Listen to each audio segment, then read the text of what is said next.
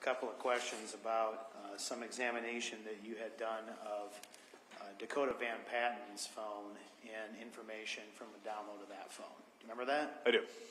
And you remember that I asked you if you were able to locate a phone call on his phone I do recall that. in a phone call to Melody Hoffman's phone that would have taken place on February 17th, 2024? I do recall that. Were you confused by that question? I was. Okay. Um, Have you, um, is there some clarification that you'd like to make to your answer to that? There was no phone call that night. And regarding that, um, that answer you gave, did you also do um, an examination of Mr. Louisma's uh, phone and uh, phone download information to try to see whether there was a, a phone call that was still there of, that was made from his phone to Melody Hoffman's phone on February 17, 2024? On the 17th, yes, there was no, there was, I, let me correct myself. There was no phone call that day. However, there was one on the 18th at approximately 10:30 PM. I believe there was two phone calls that were made to Melody's phone from the defendant's phone. So your examination showed on the defendant's phone, there was a phone call made to Melody Hoffman's phone, but that was on the evening of the 18th around 10:38 PM? That's correct. And that there was actually two calls made then? Yes. Okay. Is that why you were initially confused about that answer, that you had found a phone call, it just it was on Mr. Louisma's phone and not Mr. Van Patten's? That's correct. And then before we move on to the next uh, set of questions, I want to revisit that exhibit that's already been received into evidence. We don't need to put it back up, but um, it was just received, uh, s- number 17Y. It's that Snapchat photo that was on Dakota Van Patten's phone. Yes. You know what I'm talking about? I do. Okay. And because some of us may not be familiar with Snapchat and how that works, um, maybe, can you explain how somebody would take a photo and then how they would enter in numbers into that photo, like how that would be done in a way that would be consistent with producing what's in 17Y? Yes, so Snapchat is um, an application that you can put on your phone. Um, it's primarily used for making pictures or videos. They have different filters. Um, you can add text. Um, a user would open the application. It will bring up generally your uh, camera, and then all you have to do is click a circle at the bottom of your phone. It takes that picture, and then there's editing tools on the right-hand side that you can select either adding text, uh, emojis, uh, GIFs, whatever it may be, and you can add that text. So like the 5917, you can type that in, and then you can either manipulate it to diagonal or large, small, whatever you'd like, and you can you can manipulate the phone or the photo in any way you'd like. So in regards to 17Y, uh, was there a background uh, photo of any kind, or? It was blurry. It's uh, it's indistinguishable, but it's it's dark.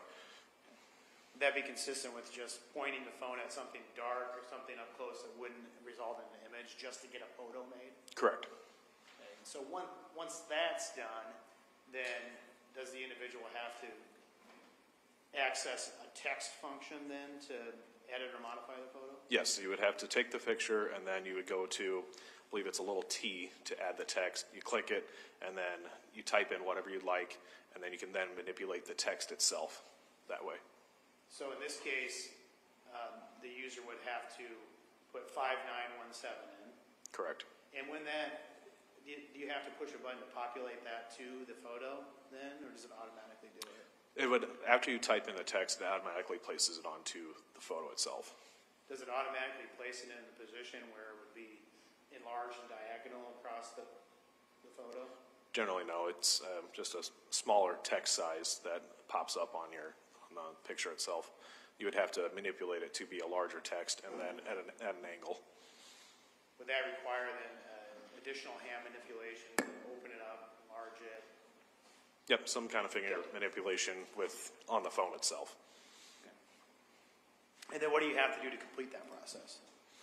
Uh, you can either send it to somebody or save it. Uh, there's various ways that you can what you can do with the photo. So you have to stop the editing. Is there a done button for that or something? or- No, there's no done button. You can there's um, a little arrow at the bottom right hand corner that you can send it to people, and then I think in the bottom left hand corner it's I think it's a download symbol, so the box um, with an arrow, and then you can save the photo. Okay. And then after doing all that, you can save the photo in a manner that it- it appears in 17Y. That's correct. Okay, now we're going to pick back up here, I think, about where we left off. Um,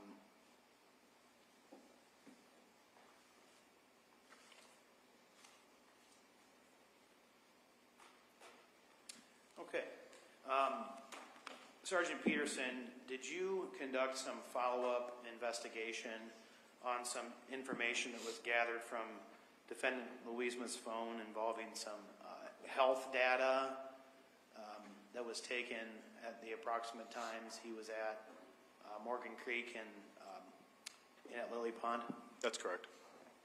And what kind of uh, information was in that health data that you had access to and then performed the um, follow-up investigation? The, there was two, lo- like you stated, at Morgan Creek and Lily Pond, there was two um, sets of data that was uh, documented. It was meters and, uh, for distance and then steps taken at different uh, times for both locations.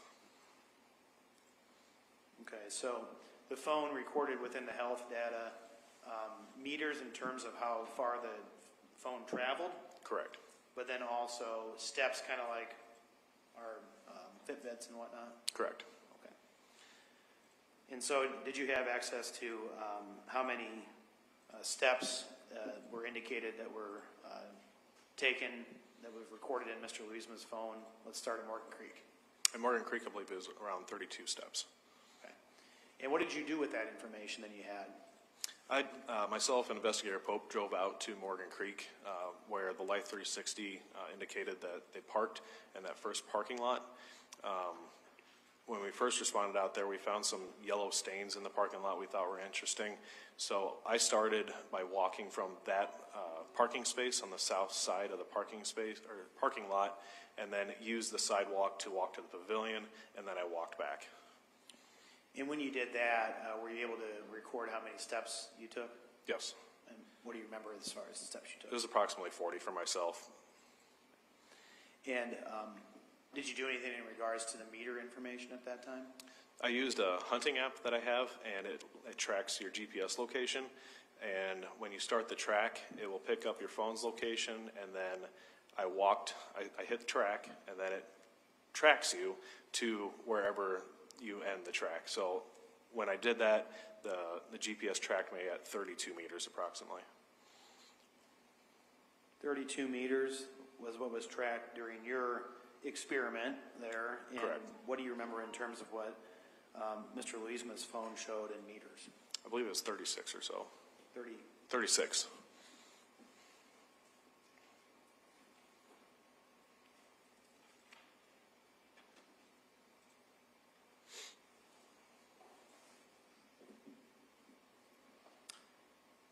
Did you find, uh, as a result of your uh, follow-up investigation at Morgan Creek, that the amount of steps that that you had to take and the meters involved in um, taking those steps from the near parking space to pavilion to the pavilion area and back was consistent with what was in Mr. Louisma's phone? Yes.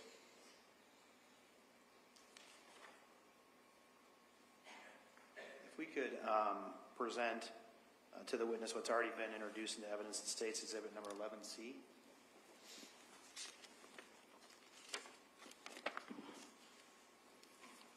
You're asking to publish that? Yes, and publish it too, Your Honor. Publishing 11C now.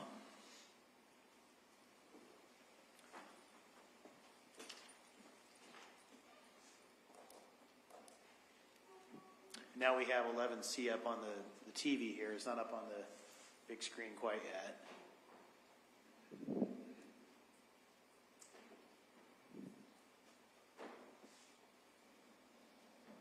There we go. Does this help demonstrate at all the area where you measured the number of steps that you took from the parking lot to the structures in the area? I did. It does. Can you show us, if you still have the laser pointer up there, maybe? I do. Um, just kind of what step, steps you took to find, make these conclusions. I actually started at the parking lot where this vehicle is, or the parking space, I should say, where this vehicle is, at where the driver door would be, and walk this way and follow the step, or the, the concrete to the pavilion itself, to the, to the, the table that's under the pavilion.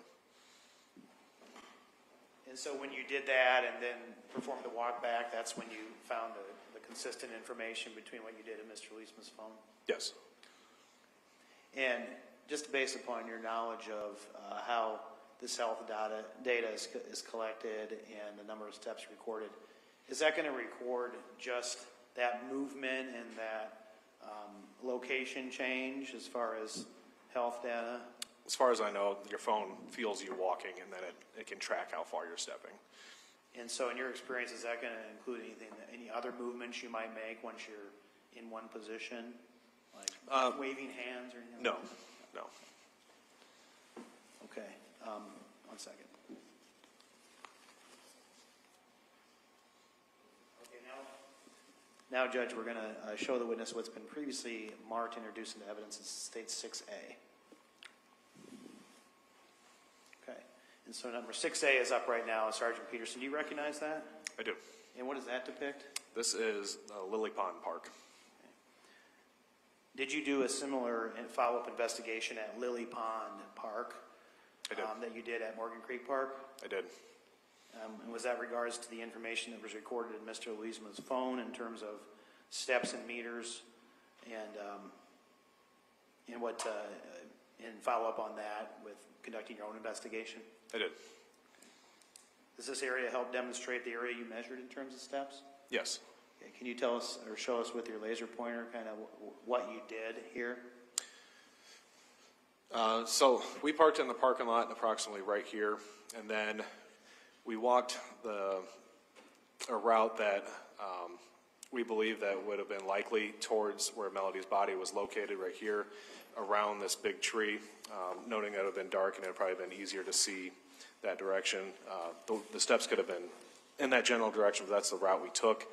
Um, and then while standing at um, where Melody's body was found, I had a laser rangefinder um, and shot the laser back towards my truck to get the, the range from that location to my truck. Now that's line of sight, and it doesn't account for um, any deviation while you're walking, but that is line of sight, and it, it turned out to be 65 yards on my laser rangefinder. So you found that roughly the distance between the uh, parking lot area there to where Melody's body was found was approximately 65 yards. Correct. And again, that's not accounting for maybe some divots or other land type, uh, layout here that might account for that. Yeah, it would not account for any kind of uh, deviation from a straight line. And then, um, what else did you do while you were out there? Um, the distance that was recorded, um, I believe there was nine minute difference between the first set of steps and the second set of steps. The first set was approximately 320 uh, steps, and the other one was 270, if I recall correctly. The distance, though, was 185 meters and 181 meters, um, respectively, with the 181 being with the 270 steps. Uh, Due to how far away the uh, Melody's location was at in the parking lot, we also moved further east towards the bridge over here to see where might be the next closest location uh, a vehicle would logically park. Um, If the photograph would depict the road that um, Lily Pond is on, there's a driveway or a street that leads into an RV park, and that's the next closest um, location. And it was well over a hundred and some yards f- just from the, the bridge itself, eliminating them parking from, at that uh, intersection and likely parking at the, the park itself. Did that help you then um, more closely focus on the area where you wanted to conduct the further exper- experimentation? Yes, So what we gathered here from you there is that there were two, you said there were two sets of um, movements that were detected, that's correct. and those movements were nine minutes apart. That's correct.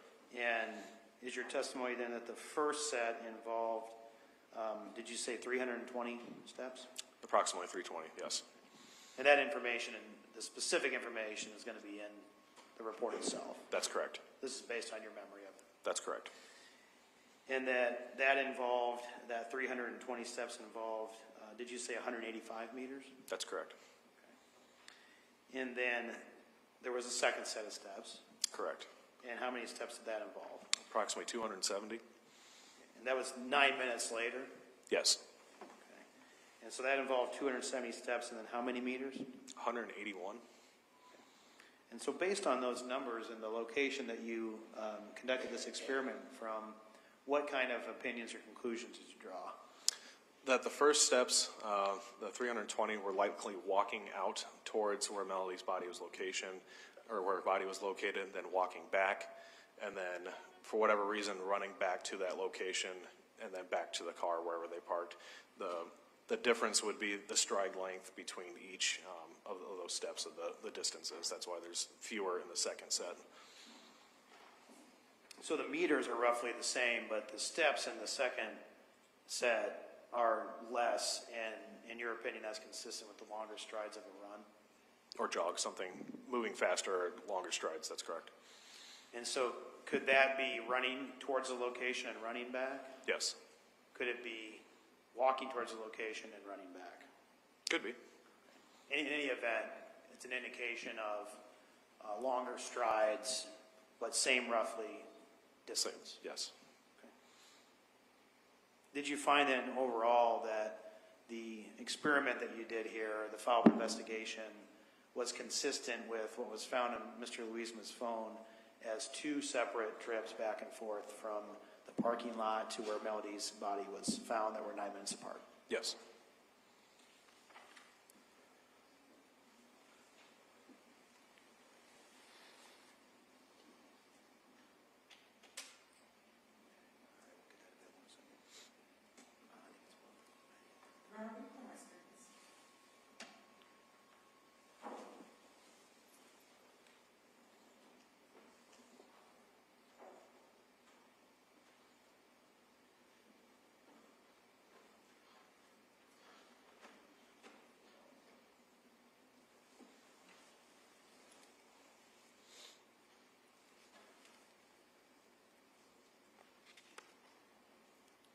I think while we're accessing another exhibit here, I'm going to ask you some questions. Um, Did you collect some items of evidence, or you and other officers at the Marion Police Department, and um, transport those evidence to the Division of Criminal Investigations Laboratory for further testing? That's correct. What was the purpose of doing that? Uh, The items were sent to the laboratory for fingerprint and DNA analysis. And as a result of that, uh, did you receive some results for the DNA forensic analysis? We did. We've got a witness coming in, I think today, to talk about that, but let's talk about the fingerprint analysis that you asked for. What specifically were you asking as far as fingerprint analysis? Uh, For the specific items that uh, were returned recently, um, it was, I believe, the three machetes, a lift that was taken off of the defendant's car, um, and uh, and another knife that was recovered at Dakota Van Patten's house. Um, The DCI lab um, couldn't get to those items in time for the trial. They were updating their system, and they um, informed us that would, they would not be able to provide the results of those items to us. So I contacted the Cedar Rapids Police Department. They have a fingerprint identification individual that can perform those duties for us, and did so. And with regard to, uh, did the DCI, were they able to do testing on any of the items that were submitted for fingerprints? On some, on some items, yes, but not, not this uh, later set that we sent. I believe it was August, the time frame. There was multiple sets of um, evidence that we sent to the DCI lab based on um, what we thought was a priority at a time. Do you recall the results of the fingerprint examination that was done by the DCI on any of the items? I don't know.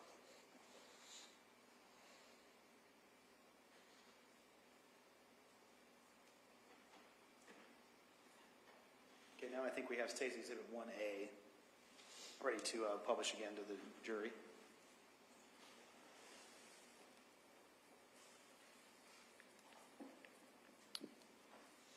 Publishing 1A. You see State's Exhibit 1A, Sergeant Peterson? I do.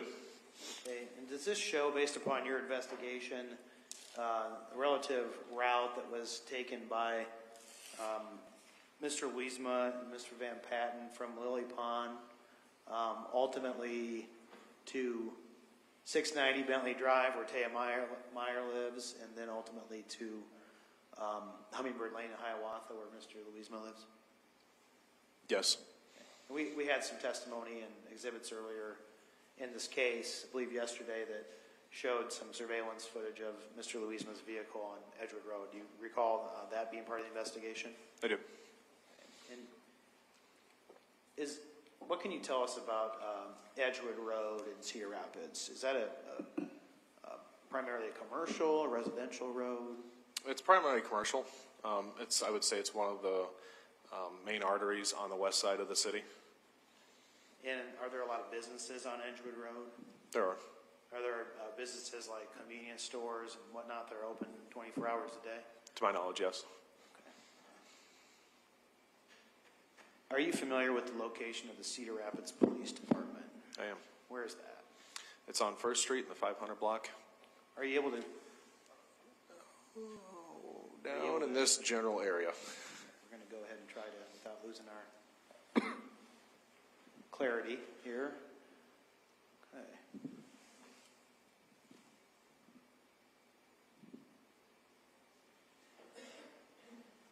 Right about there.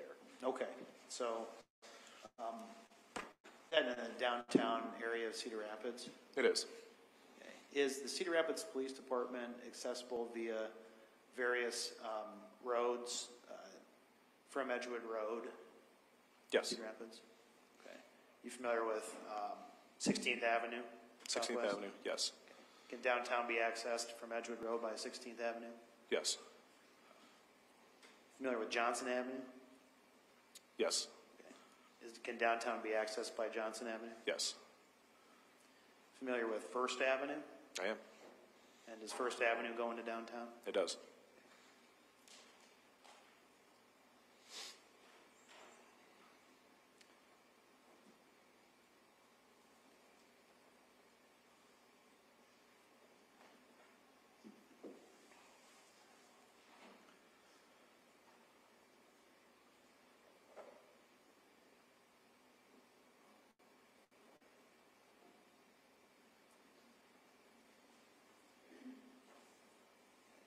Hiawatha Police Department is? I do. Okay. What's the location of Hiawatha Police Department? Uh, I don't know the exact address. It is um, off of Center Point Road and Blair's Ferry Road. Uh, It is to the northwest of that intersection. Um,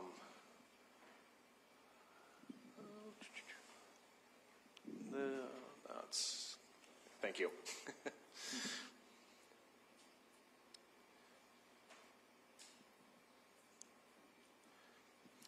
The Hiawatha uh, Police Department is actually attached to their city hall, and city hall is um, on North Center Point Road in Hiawatha. Uh, It butts up to North Center Point Road. And it is only a couple blocks away from Blair's Ferry to the north, in this general area. So if you're traveling Edgewood to, to Highway 100, when you're on Highway 100, would you just need to go north to the Hiawatha Police Department? You could take 380 north, or you could actually get off at the Center Point Road exit and travel northbound towards uh, the Hiawatha Police Department, which is in this general area right here. And is it also uh, accessible off of Blair's Ferry Road? Yes, you'd have to take North Center Point Road too, from Blair's Ferry, yes.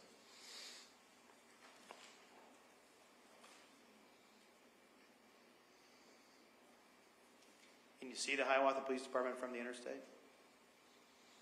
I'm not sure. Is it pretty close to the interstate? It, it is close to the, to the interstate. I'm not sure if you can visit, if there's line of sight to it, but it's very close to the interstate. Okay. All right, we can go ahead and take that down now.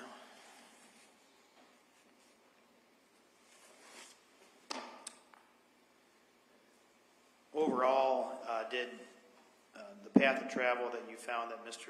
Louisma's uh, vehicle took from Lily Pond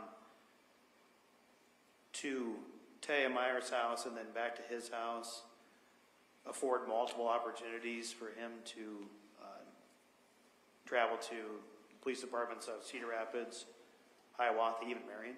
Yes. Where's Marion Police Department? 6315 Highway 151 uh, for a general location, that'd be the intersection of Highway 13 and 151. We're just slightly east of that.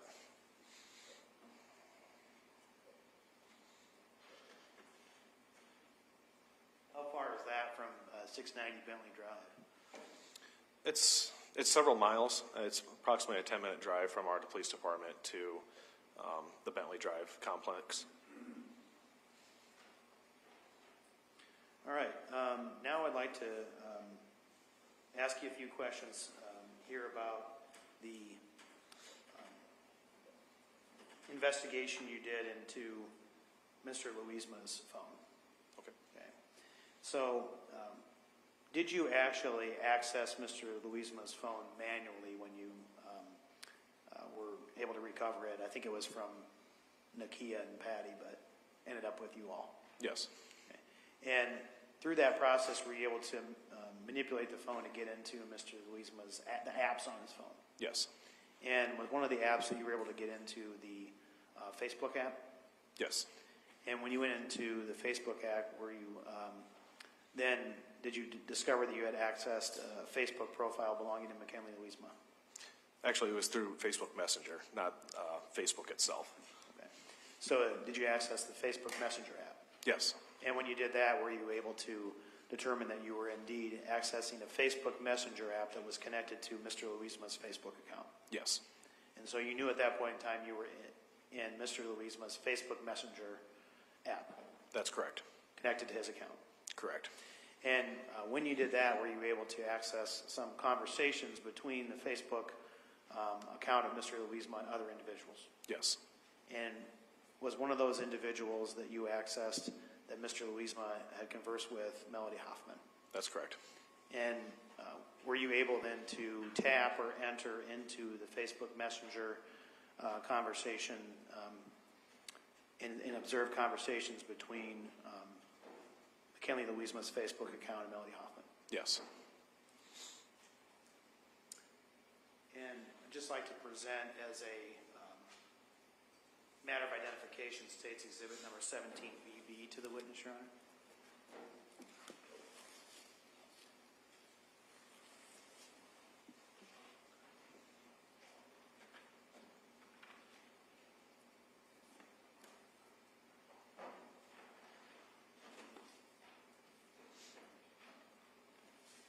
You see that? I do. Okay. Is, uh, to your knowledge, does this contain then a recording that you made of you uh, manually navigating the conversation between Mr. Louisma's um, Facebook account, known Facebook account, and Melody Hoffman? Yes.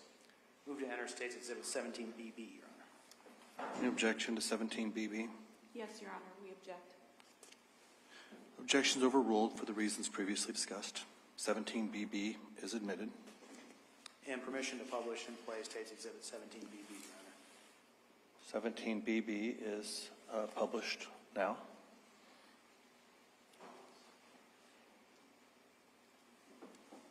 Go ahead and start it now.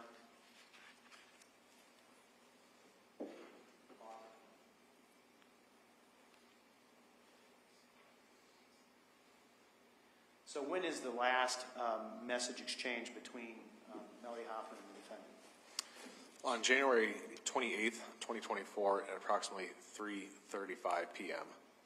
And that just appears to be um, a question by Ms. Hoffman, what do you want? Is that, That- That's correct. and how does Mr. Louisma's, uh, well, his Facebook account belonging to Mr. Leesman respond to that? Nothing. Okay, go ahead and continue that.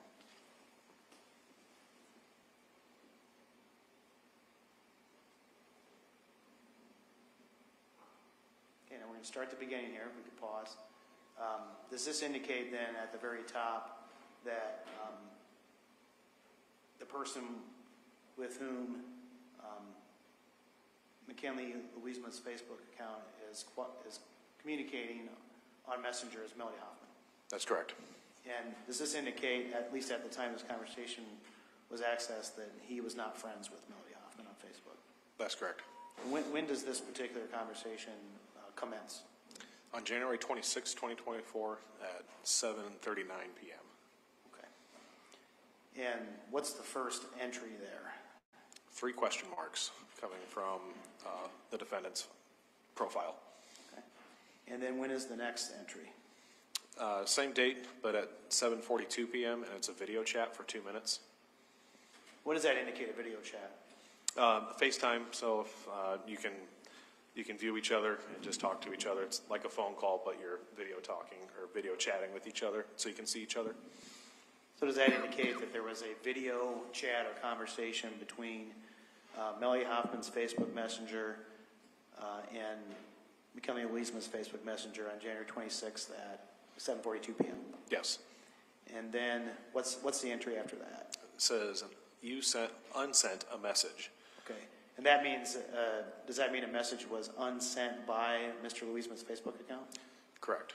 Okay, and then after that is what? There's an audio call that uh, was missed. Does that show, can you tell whether that shows an audio call made by um, Melody Hoffman or by Mr. Louisma's account? I believe that the, uh, it had been from the defendant's account making that call. If it's on the other side of the screen, it should be uh, Melody calling in. And so what's the next entry here? It Says, why are you calling me my, or why are you calling my name like that for? Question mark, question mark. Uh, BC, probably because you mad he is with me? Question mark, question mark. And that's coming from McKinley Louisma's Facebook? That's Messenger? correct. Okay, go ahead and continue here.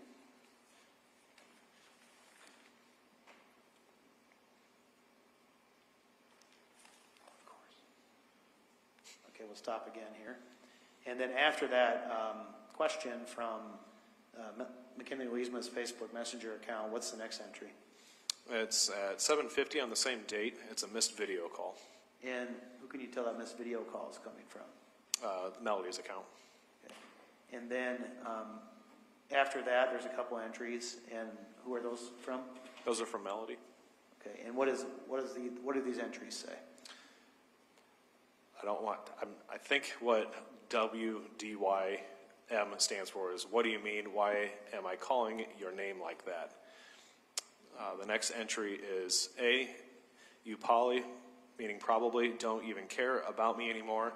B, you don't want to be around me, because, BC, or because you know that I am your, I know you're with Kia, BC, because you uh, keep going back and forth between her and me. Then we have the beginning of a next message, but we'll see if we can scroll up a little bit more here. And the next message following that is, now you're ignoring me for no darn reason. And then there, what's the response to what Melody Hoffman says there? It's an emoji with uh, sunglasses and a smiling face. Okay. And then what's the next uh, entries we see here? Uh, continuing on the, the 26th, uh, it starts at 7:58 p.m. There's an audio call for one minute from Melody, and then the next entry is again from Melody for 31 seconds. Um, the next one is a missed audio call, and then it continues to 8:01 p.m. with a two-minute audio call from Melody to the defendant's profile. So all of those calls are from Melody's profile to uh, McKinley Louisma's Facebook Messenger profile? Correct. And then after that audio call, that's two minutes on January 26th at 8:01 PM, what do we see as the, the next message is sent? Ken, WTF. I think we all know what WTF means, but go ahead for the record. For the record, Yeah. what the fuck? And so after that WTF, what do we see as the next um, two entries there? There's an audio call for 45 seconds, and then another missed audio call, uh, or video call, excuse me, from Melody. And then the next entry we see is at January 26th at 8:05 PM. What does that say? It's an audio call for two minutes from Melody. And then after that audio call for two minutes, what's the next uh, um, statement by Melody? It says, "Tell him I'm done with his goofy ass." Then we have a response here um, from Mr. Louisma's Facebook account. What does that say? It says, "Why? How come? Or how come you be done with someone that was already done with you? crying, laughing, emoji face six times. Make it um, make sense. In- response to that, um, fr- that came from Mr. Louisma's Facebook uh, profile, how did Melody respond to that? Uh, and it says, and if he wants to come back to me, he will have to talk to my mom about it. After Melody stated that, what was the response from Mr. Louisma's Facebook account? Nope. And then how does Melody respond? Okay then. What's the next entry? Uh, there's an audio call from uh, the defendant's profile for five seconds. After that five-second audio call, um, what's the next response that, or statement that Melody makes?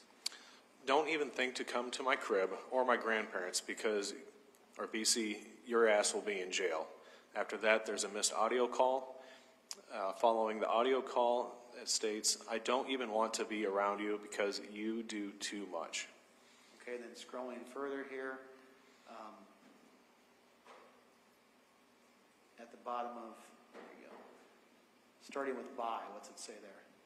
Starting with what, I'm sorry. Uh, have fun. Oh. Bye, have fun with Kia's ass because I'm done with your bullshit. Adios, amigos. And that's from Melody too. That's correct. And then at the bottom of this, it says, you've blocked Melody. What does that mean? Uh, that the user for the profile had blocked Melody's profile, um, allowing no more conversation to come back and forth between the two of them, unless they initiated, I believe. So after those entries on January, I think that was January 26th we were looking at, is that right? That's correct. Okay, on January 27th, what do we see? We had a missed call um, at 11:05 p.m. on the 27th. So after all those entries on the January 26th, and after Melody said adios amigos, there's another call. Is that, and who, who made that call? It came from the defendant's profile. How did Melody respond to that? Uh, The following day at 3:35 in the afternoon, uh, she says, "What do you want?" with an emoji face that's got the um, line for a mouth. And then the defense response to that? Nothing. Okay. I think that's it for the exhibit.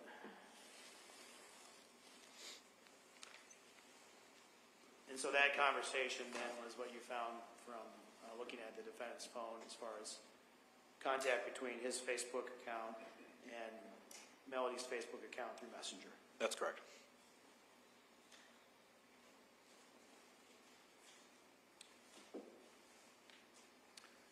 Sergeant Peterson, we've talked about a lot here over the last couple of days now. I think I've reached the point where I, um, I don't have any further questions. Thank you.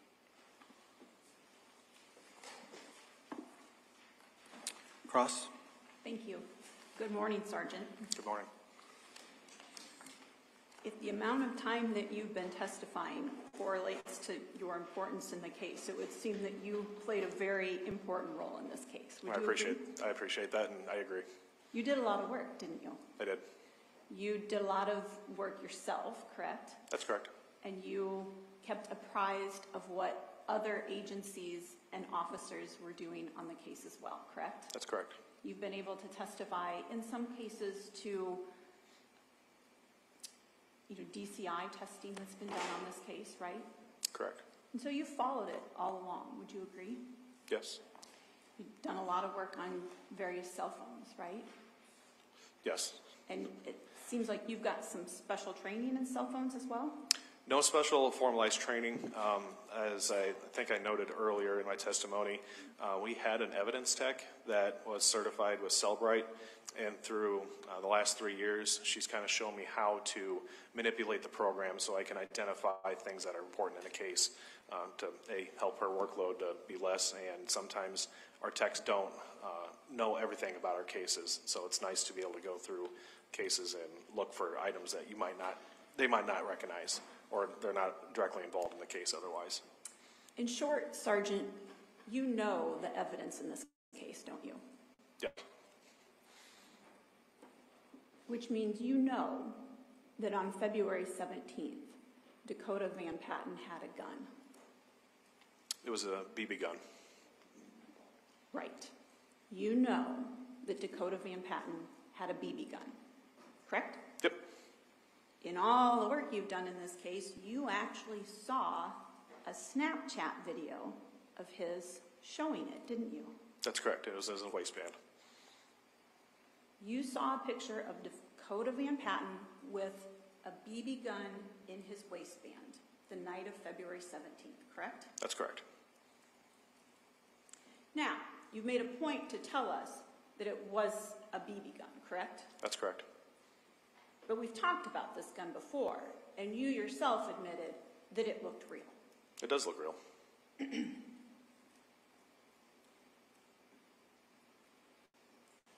Having seen this picture of Dakota with a gun, can you demonstrate for the jury how that gun was positioned? Do you mind if I stand up?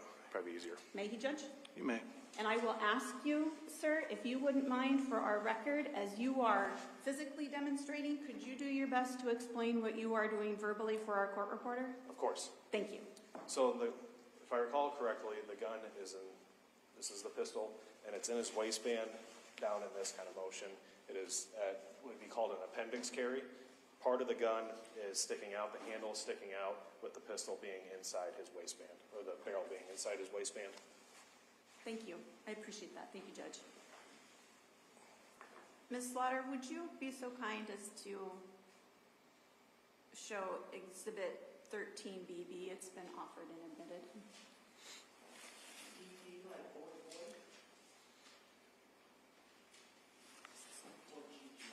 GG, I'm sorry. Thank you. Tell me when you're ready.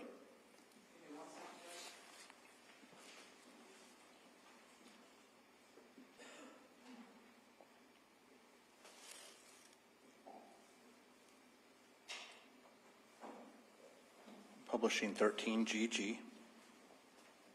You had a chance to look at that? Yes. Sergeant? You recognize that? I do. You recognize that because it's the gun that was in the waistband of Dakota Van Patten's clothes? That's correct.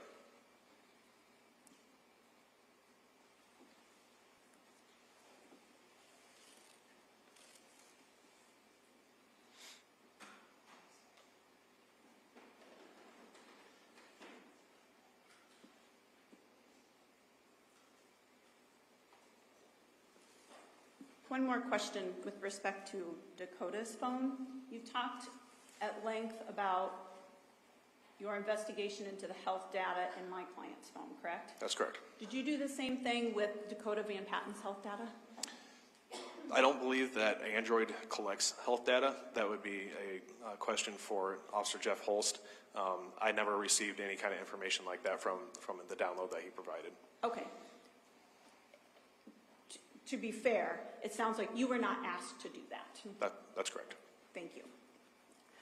The one other thing I want to visit with you about, Sergeant, is that paracord that we spent some time talking about. You recall that yesterday? Yes,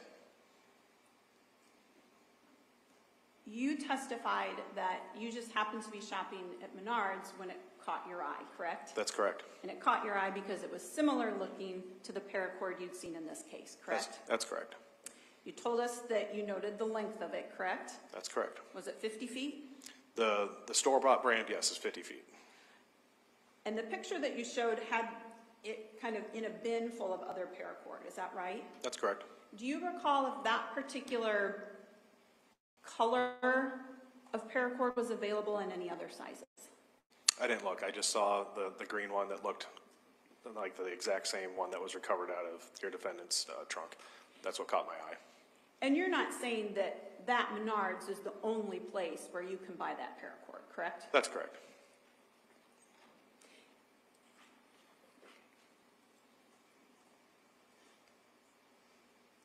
And Ms. Slaughter, may I ask you to show one more photo? 13M, Judge Mishi.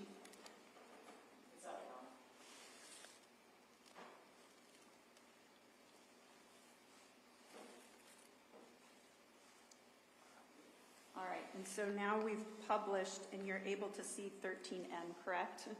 I am. And you're familiar with this paracord? Yes, It was found in the basement of Dakota Van Patten's house? that's correct. is it bundled in a similar way to the bundles that you saw at Menards?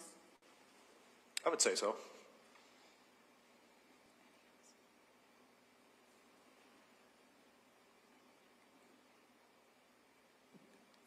Sergeant, thank you. I don't have any other questions. Thank you.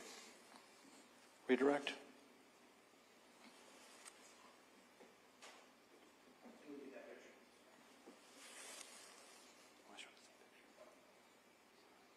Would you get that picture back up, 13M?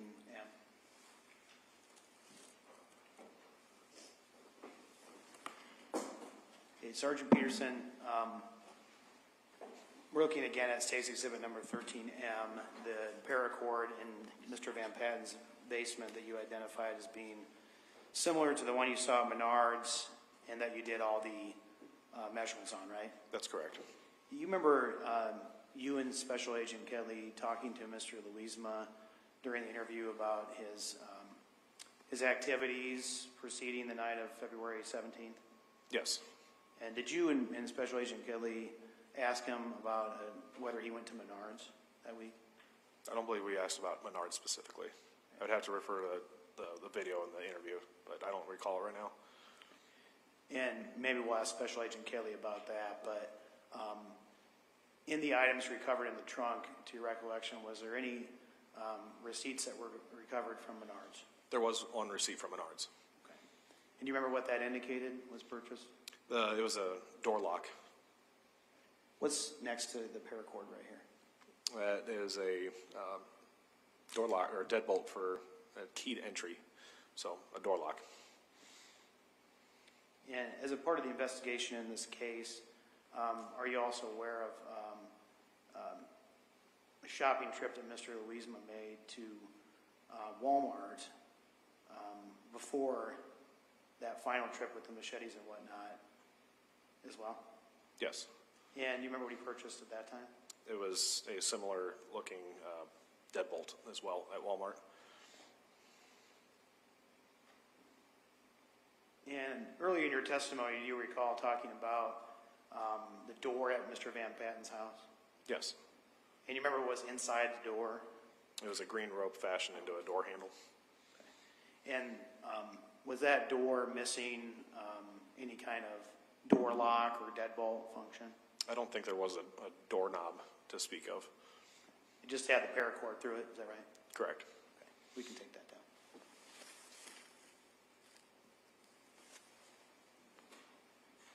And now I'd like to um, show you pictures.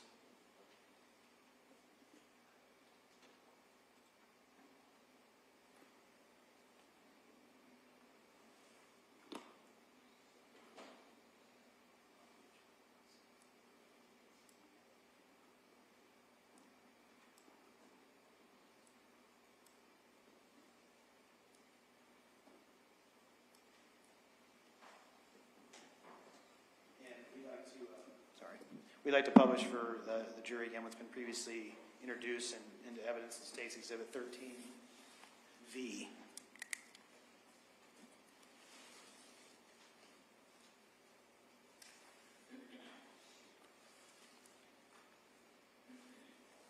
Do you see what's in State's Exhibit number 13V?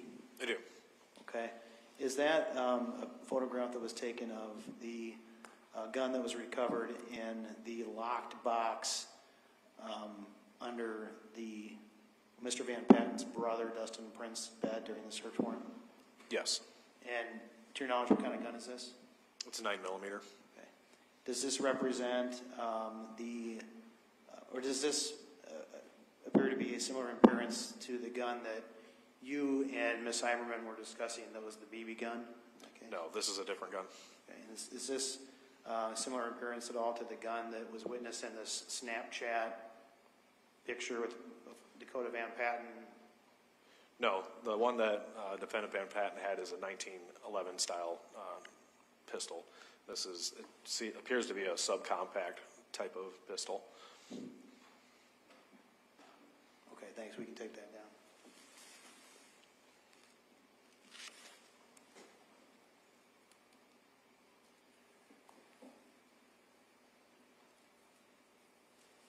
All right, can I have one second?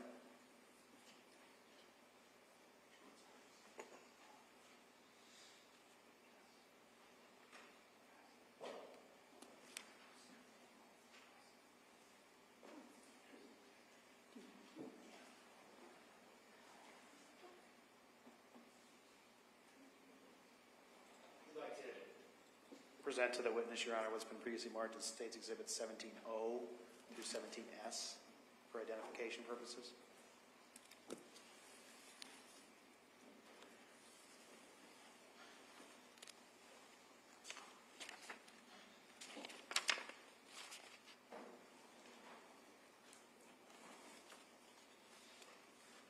Do you see those?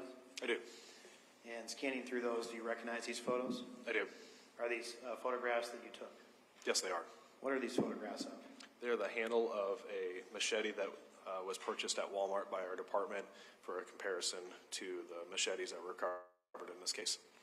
Is this machete um, the exact same similar model as the ones that were purchased by um, defendant Louisma, Mr. Van Patten, and Mr. Kimpton on February 17th of 2024, as we've seen in the exhibits? Yes, it's an Ozark Trail machete that Walmart sells. And what area of the machete did you photograph? The handle? Are these fair and accurate depictions of the um, machete that you photographed, the handle area? Yes, it is. Move to enter states 17O through 17S. Any objection to 17O through 17S? No, Your Honor. 17O through 17S are admitted. Permission to publish those, Your Honor? Publishing now. Can you tell us first what we're looking at in States Exhibit 17O? This is the, the handle portion of the machete, um, laying on a, a scale within our uh, forensic lab. We have a camera that's, uh, we'll use for more, uh, detailed photographing. And what does this show as far as the handle and um, kind of the appearance of it and makeup of it? Uh, most notably, there's um, small rectangles within the whole handle itself. There's also three, well, a total of four what would appear to be rivets um, that are golden color, and then also a hole that um, would probably be used for placing a rope to carry it or something like that. And then also there's a, I would call it a tang on the end of the handle itself with a rivet at the end of it. Are those small rectangular, um, how describe it, uh, op- what we see here, the small rectangular um, shapes, are those raised from the machete Yes. itself? They are raised up. Is that um, basically intended to be a way to to grip the machete without it slipping out of your hand? That's correct. Move on to 17 uh, B. And what's depicted there? This is a closer picture of the same handle um, near that hole where you'd possibly put a rope with the, the rivets, um, with a sticker with um, a measurement, a metric unit of measurement to do a comparison of the size of those, um, those raised um, uh, squares or rectangles, if you will. Does this give us an idea of um, how far apart those raised rectangles are on the grip of the machete? Yes, And what does that indicate? it just indicates the, a pattern that they, that is imprinted on the handle itself. As far as the measured distance between those raised rectangular um, uh, objects on the um, grip, how, how far apart are those from each other? They're about a meter, or a centimeter. Okay.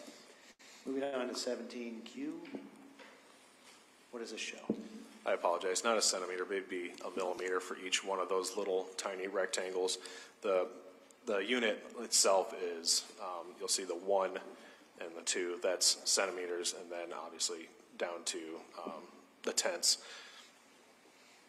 Sorry, repeat your question. Thank you for clarifying that. What are we seeing in 17Q?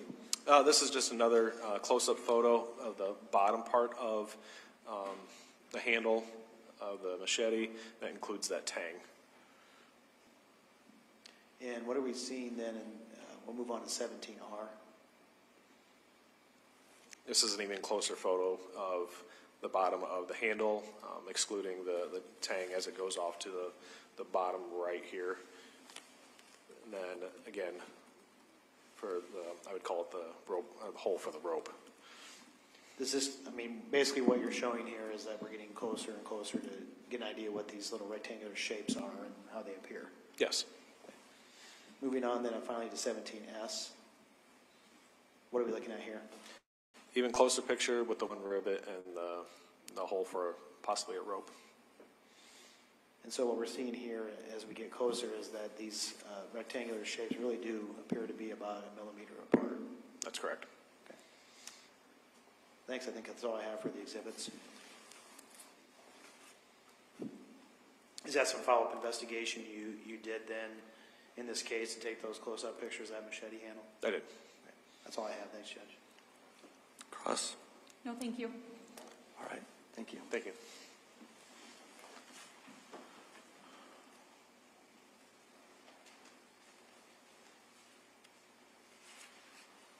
All right, we're going to be in recess for our lunch break um, until 1:30.